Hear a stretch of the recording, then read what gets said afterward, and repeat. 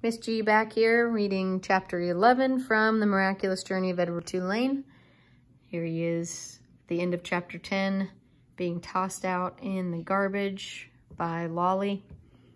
Um, oh, and also reading with permission from Candlewick Press. I have to say that every time. Chapter 11. Edward ended up at the dump. He lay on top of orange peels, coffee grounds, rancid bacon, and rubber tires. That first night, he was at the top of the garbage heap, and so he was able to look at, up at the stars and find comfort in their light. In the morning, a short man came climbing through the trash and rubble. He stopped when he was standing on top of the highest pile. He put his hands under his armpits and flapped his elbows. The man crowed loudly. He shouted, Who am I? I'm Ernest, Ernest who is king of the world. How can I be king of the world?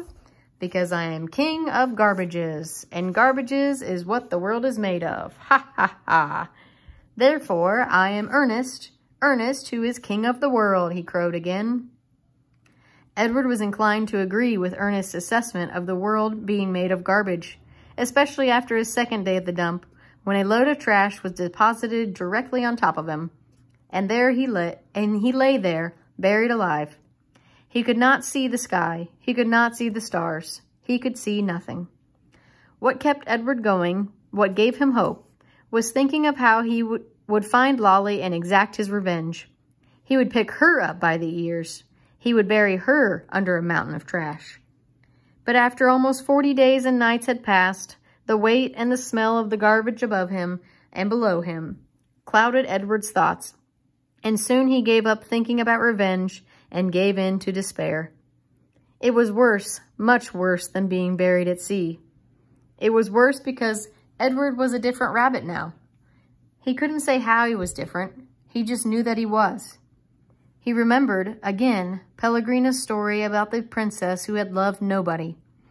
The witch turned her into a warthog because she loved nobody. He understood that now. He heard Pellegrina say, You disappoint me. Why, he had asked her, why do I disappoint you? But he knew the answer to that question too. It was because he had not loved Abilene enough, and now she was gone from him, and he would never be able to make it right. And Nellie and Lawrence were gone too. He missed them terribly. He wanted to be with them. The rabbit wondered if that was love. Day after day, passed, and Edward was aware of time passing only because each morning he could hear, hear Ernest performing his dawn ritual, cackling and crowing about being the king of the world. On his 180, 180th day at the dump, salvation arrived when Edward was, sorry, salvation arrived for Edward in a most unusual form.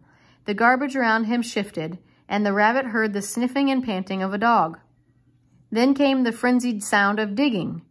The garbage shifted again, and suddenly, miraculously, the beautiful, buttery light of late afternoon shone on Edward's face. 180 days. It's a long time to be under trash. So next time we'll read chapter 12.